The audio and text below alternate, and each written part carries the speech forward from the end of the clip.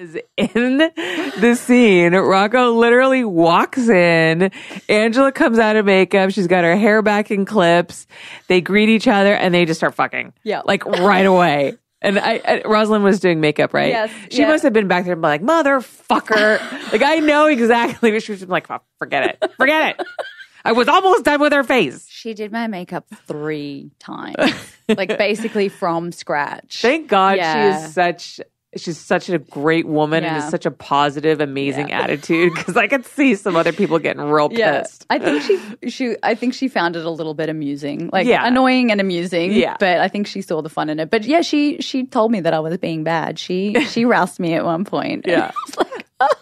I couldn't help it. He's Yeah. just he is so charismatic and he's there is this incredible presence with Mm-hmm. Rocco. He's ah when he walks in the room, it's not just the women that look, it's the men. Yeah. Everybody wants to be near Rocco. Yeah.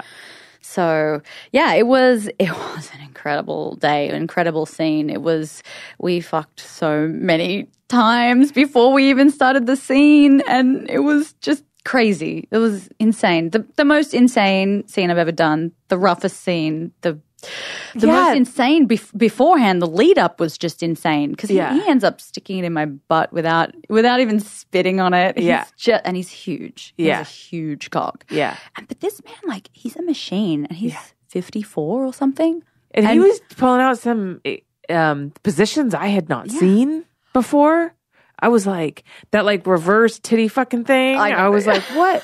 What's going on here? he he fucks harder and longer than some of these, you know, new 18 year olds. Like, Yeah. he is an absolute machine. I like his sexual drive, his sexual energy, his presence, everything is just so intense with him. And the way his eyes burn when he looks at you. Mm-hmm. Yeah. It's, Do you Yeah. find I've I've heard some other girls say that sometimes they find that the European performers tend to have that kind of intensity that um, sometimes American performers don't have as much. yeah, I mean, all, all my favorite male performers Yeah. Happen to be European. Yeah. And Marcus Dupree, who's, you know, kind of like the new big stud on campus, came from boot camp Rocco. Yeah, he was I mean, trained by Rocco. Mm-hmm. credits Rocco with teaching him everything he knows. And Marcus is probably one of the strongest performers in our industry today. Yeah, absolutely. Yeah. So, okay, so he came in, you guys had sex right away. And it's hilarious too, because John Stagliano is just like trying, he's like, what, what, I'm trying to, what happened? I haven't even started shooting yet. Like, I don't have my camera. And he's like on his phone. He's like, what's going on here?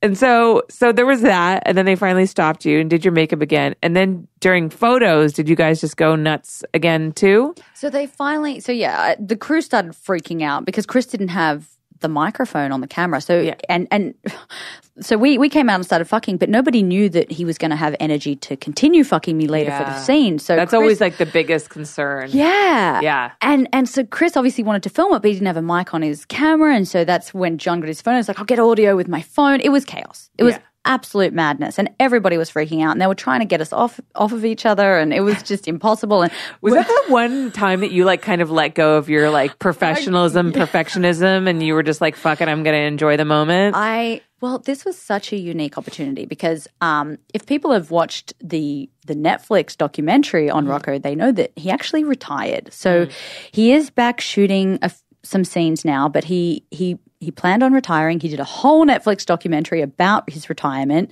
Came I didn't over. realize that was on Netflix. I've seen the trailer for it, but I didn't realize Yeah. it was on Netflix. Definitely recommend you watching it. It's it's incredible, and it definitely gives you a sort an insight into his mind mm. and you know his sexuality and some it's somewhat tormented sexuality. It's very very interesting. I can imagine. I mean, when you've got that kind of strong sexuality and it's been such a huge driving part of your life, it's it's also got to be a tough thing to let go of. You know, I mean, I know my mom when she retired. I mean, just letting not her sexuality, but you know, being Suze Randall and who she was and the the icon that she was, it was a very difficult thing for her to let go because that was wrapped up so much in. um you know who she was as a Her person. identity. Yeah, yeah, Yeah. yeah. Yeah. Well, Rocco clearly, I mean, he tried to retire. He's back shooting some movies in um, in Budapest, Mm-hmm. but he had not been back to America to, to shoot.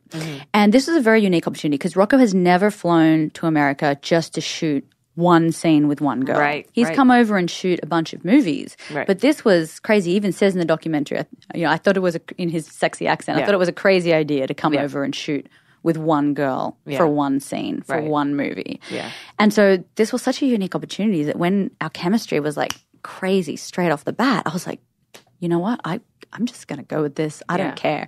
I don't care. Were you nervous going into it that like maybe you wouldn't have that or something? I mean, he flew out all the way to shoot this scene. Oh, like, what? I mean, what was going through your head? There, that's felt like there was a lot of pressure. you know? Yeah. I felt like there was a lot of. I didn't. I didn't think there would be no chemistry because I did. I had actually met him at AVN. So at a that was the first time we went Yeah. at AVN this year, and it was like five minutes that we saw each other. But even then, I felt the connection immediately. Right, the way right. he looked at me, the way we felt, there was like this. Mm-hmm. There was so much tension between us, and so and I think that that is probably the reason that he agreed to come out here. I know he he mentions in the documentary that you know the wins that I got at AVN and the way people talked about me, but that that moment when we met at AVN on the floor and we just connected so quickly. I just knew that there would be chemistry. But still, there's a lot of pressure to, to, to have someone fly across the globe just to fuck you. Yeah. It's like, wow, you better make it good. Yeah, yeah, I can imagine. But I feel like um, there's a lot of pressure on him too. I don't know. Asa said this to me. I'm not sure if it made it. I can't remember if it made it into the documentary. But she said, "Imagine, you know, you're."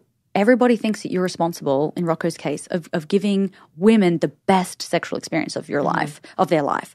So imagine having that pressure on you, like I'm the man, Yeah. that this girl, this woman is expecting me to fuck her in a way that she will never forget. And he Yeah.